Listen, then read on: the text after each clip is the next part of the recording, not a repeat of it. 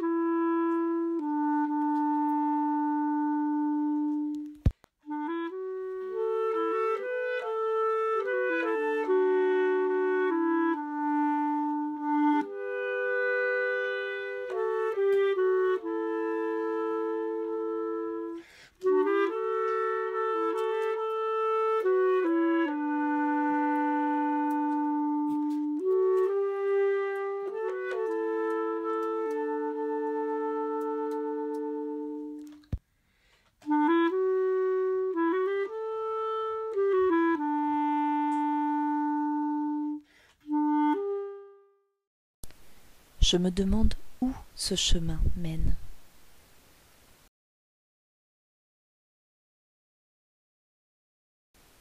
Je me demande si ce chemin est facile ou difficile à suivre.